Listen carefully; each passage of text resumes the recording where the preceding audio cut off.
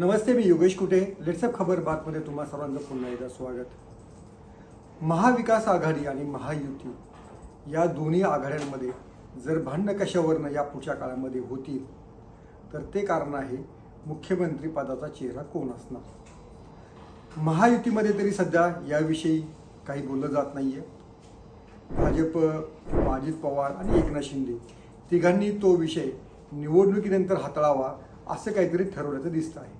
पण इकडे महाविकास आघाडीमध्ये मात्र या विषयावरची जी काही धुसफूस आहे ती थेट व्यासपीठावरनं भाषणांमधनं बाहेर पडत आहे.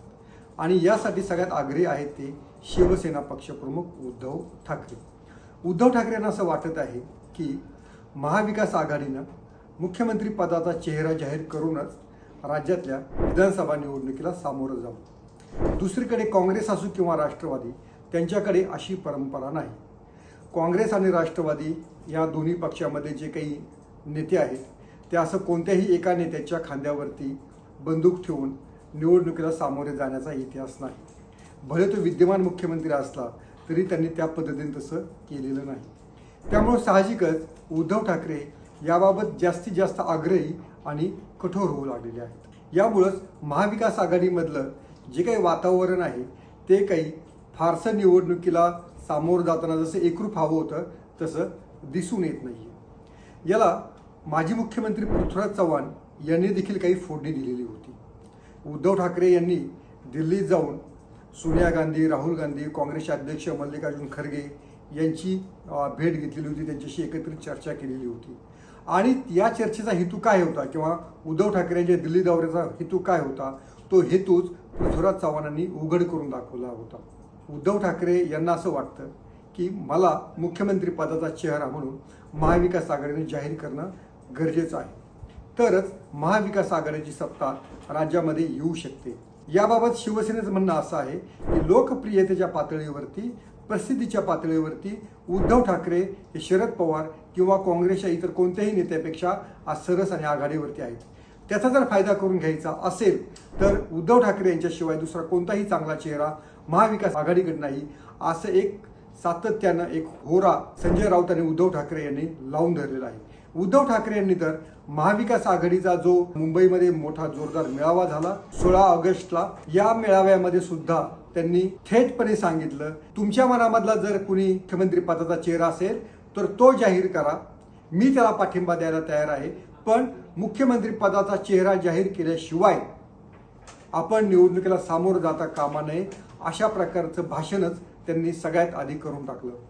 कोणताही जर मेळावा असेल तर ज्येष्ठ नेते हे नंतर भाषण करतात. पण काल झालेल्या मेळाव्यामध्ये उद्धव ठाकरे यांनी स्वतः सर्वात आधी भाषण केलं. आणि तो भाषण करण्याचा हेतू काय होता?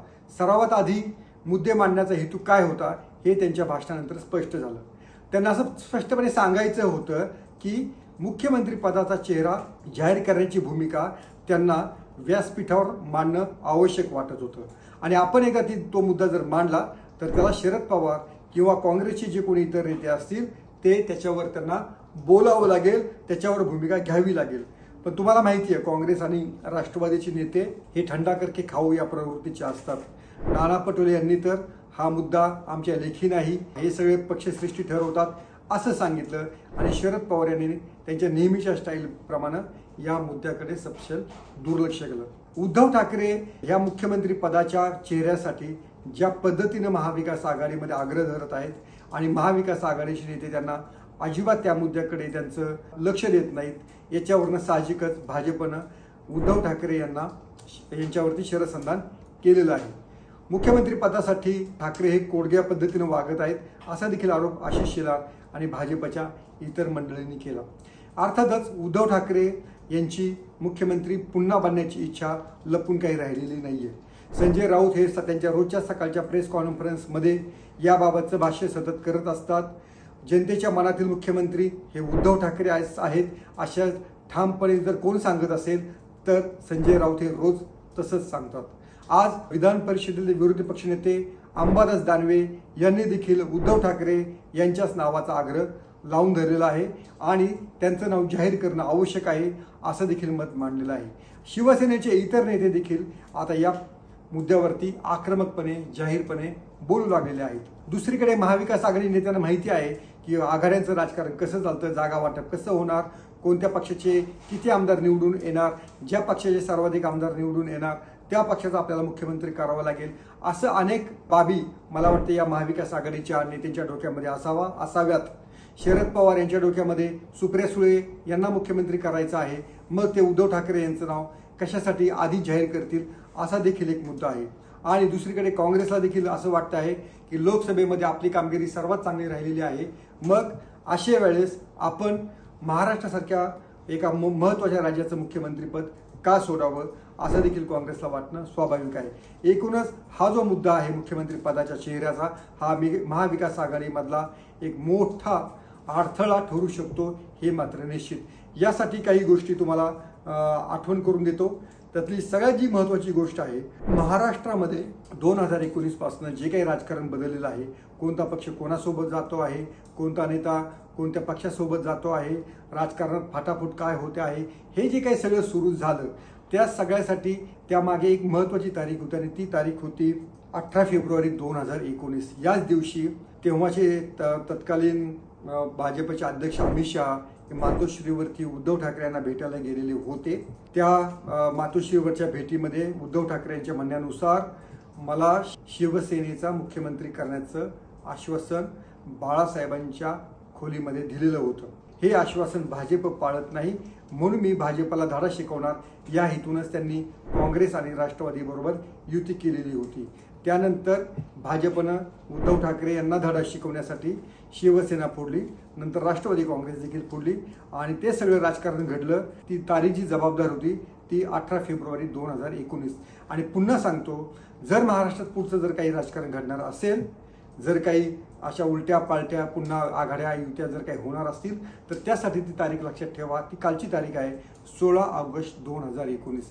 याच दिवशी उद्धव ठाकरे यांनी जाहीरपणे एक तर तुमच्या मनातला उमेदवार जाहीर करा नाहीतर मी सांगतो म्हणजे मला तुम्ही मुख्यमंत्रीपदाचा उमेदवार जाहीर करा असं एक आप अप्रत्यक्षरित्या शरद पवार आणि काँग्रेसला सांगितलेलं होतं. पण या दोन्ही पक्षांनी त्यांच्याकडे लक्ष दिलेलं नाही आहे त्यामुळे ही तारीख मला अतिशय महत्त्वाची वाटते आहे. जर या तारखेला अनुसरून पुढच्या काही जर घडामोडी विधानसभा निवडणुकीनंतर जर काही घडल्या तर आश्चर्य मानू नका. असं एकंदर चित्र मला आत्ता दिसून येत आहे. जर महायुती जिंकली मोठ्या मतानं मोठ्या फरकानं तर ही भांडणं महायुतीमध्ये लागतील आणि जर महाविकास आघाडी जर बहुमत मिळालं त्यासाठी सोळा ऑगस्ट दोन हजार एकोणीस ही तारीख महत्त्वाची असेल. या तारखेला उद्धव ठाकरे जे काही बोललेले आहेत ते शरद पवार आणि काँग्रेसला नक्कीच लक्षात ठेवावं लागेल. त्यामुळं उद्धव ठाकरे हे आपला हे का सोडत नाहीत.